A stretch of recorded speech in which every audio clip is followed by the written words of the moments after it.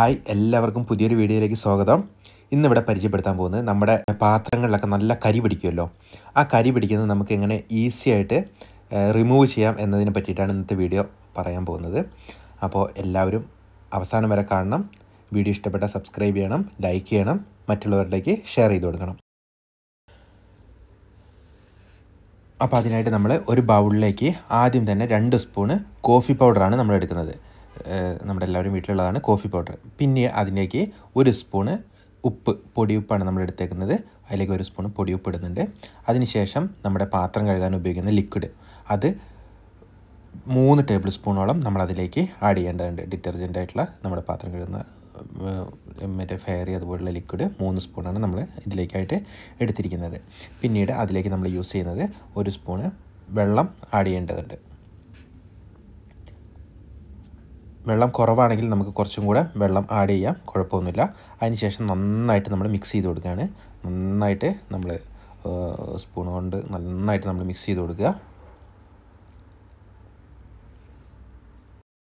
നന്നായി മിക്സ് ചെയ്തതിന് ശേഷം നമ്മൾ ഏത് പാത്രമാണോ കരി പിടിച്ചിരിക്കുന്നത് അതിലേക്ക് നമ്മൾ സ്പൂൺ കൊണ്ട് തന്നെ എടുക്കുകയാണെങ്കിൽ കുഴപ്പമില്ല. നമുക്ക് നന്നായി പ്രസ് ചെയ്ത് നമുക്ക് അതിനകത്തേക്ക് അപ്ലൈ ചെയ്യാൻ പറ്റും. അപ്പോൾ ഓരോരോ സ്പൂണായിട്ട് നമ്മൾ അതിന്റെ ബാക്കിൽ എവിടെയാണോ കരി പിടിച്ചിരിക്കുന്നത് അവിടെ നമ്മൾ വീഡിയോയിൽ കാണുന്നത് പോലെ നന്നായിട്ട് അപ്ലൈ ചെയ്ത് കൊടുക്കുക. കുറച്ച് കട്ടിയിൽ തന്നെ അപ്ലൈ ചെയ്യണം. എവിടെ കരിയുള്ള ഭാഗം മൊത്തം നമ്മൾ ഇതേപോലെ വീഡിയോയിൽ കാണുന്ന പോലെ അപ്ലൈ ചെയ്ത് കൊടുക്കേണ്ടതുണ്ട്.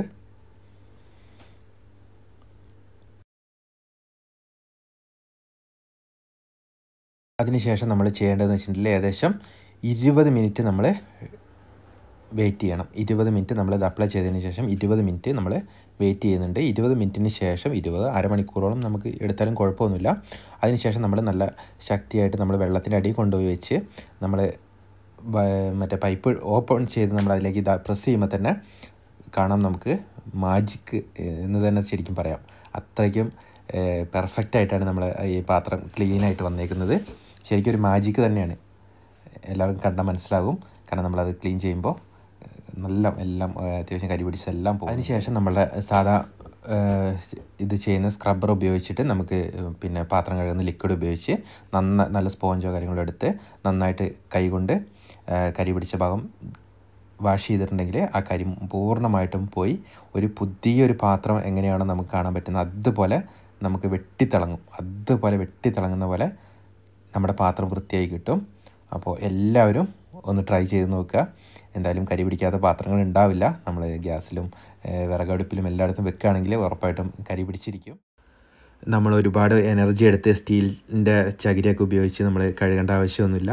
ഇതുപോലെ വീട്ടിൽ എല്ലാ എല്ലാ വീടുകളിലുള്ള സാധനങ്ങളാണ്. കാപ്പിപ്പൊടി അതുപോലെ ഉപ്പ് നമ്മൾ പാത്രം കഴുകാൻ ഉപയോഗിക്കുന്ന ഡിറ്റർജന്റ് ഈ സാധനങ്ങളെല്ലാം ഉപയോഗിച്ച് നമുക്ക് സിമ്പിളായിട്ട് നമ്മൾ അധികം എനർജി കളയാതെ തന്നെ ഇതുപോലെ നമുക്ക് വീഡിയോയിൽ കാണുന്ന പോലെ വെട്ടിത്തിളങ്ങുന്ന രീതിയിൽ നമുക്ക് പാത്രങ്ങൾ ക്ലീൻ ചെയ്തെടുക്കാൻ പറ്റും. അപ്പോൾ എല്ലാവരും ഒന്ന് ട്രൈ ചെയ്ത് നോക്കുക. വീഡിയോ ഇഷ്ടപ്പെട്ടിട്ടുണ്ടെങ്കിൽ ലൈക്ക് ചെയ്യാനും സബ്സ്ക്രൈബ് ചെയ്യാനും മറ്റുള്ളവരിലേക്ക് ഷെയർ ചെയ്ത് കൊടുക്കാനും മറക്കരുത്. അപ്പോൾ പുതിയൊരു വീഡിയോ വരുന്നവരേക്കും എല്ലാവർക്കും നന്ദി നമസ്കാരം.